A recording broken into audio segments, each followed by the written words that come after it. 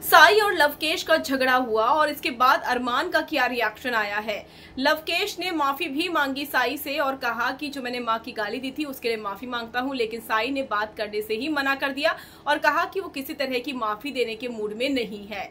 लेकिन अरमान मलिक कृतिका से क्या कुछ कहते हुए नज़र आ रहे थे? इस फाइट के बारे में अकेले में चलिए आपको बताते हैं। नमस्कार, आपके साथ मैं हूँ दीपिका। वेल अगर आपने सब्सक्राइब नहीं किया है तो जल्दी से कर लीजिए ताकि सारी की सारी लेटेस्ट खबरें आप तक पहुँचे। जल्द से जल्द साई गुस्सा हो गए जब उनकी माँ को गाली दी गई और लवकेश ने गाली दी थी। इसके बाद घर वाले समझाते हैं कि तुझे पता नहीं है कि उसकी उसकी लाइफ में क्या हुआ है, उसकी माँ के साथ क्या हुआ है, इस तरह की बातें उन्हें समझाने की कोशिश करते हैं। तो लवकेश कहते हैं, मुझे मालूम नहीं था भाई। और साई का एग्रेशन देख, देखकर ये साफ़ था कि अगर उन्हें रोका नहीं जाता तो शायद लवकेश को पीट देते, हाथापाई तक बात पहुँच जाती।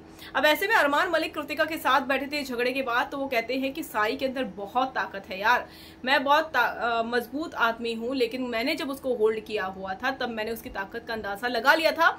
कि उसके अंदर बहुत ताकत है। अगर मैं उसको पकड़ नहीं पा रहा था, जबकि मेरे अंदर इतनी ताकत है, उनका कहना है कि अगर मैंने नहीं पकड़ा होता तो वो दो तीन मार भी देता है इसके।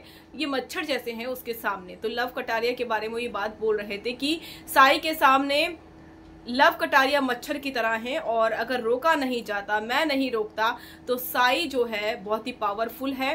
वो मार भी देता है। उसके बाद शिवानी भी वहाँ आ जाती है। शिवानी कहती है कि भाई सबसे ताकतवर है साई इस घर में छह फुट दो इंच का है हम सबसे लंबा है हट, हट्टा खट्टा है।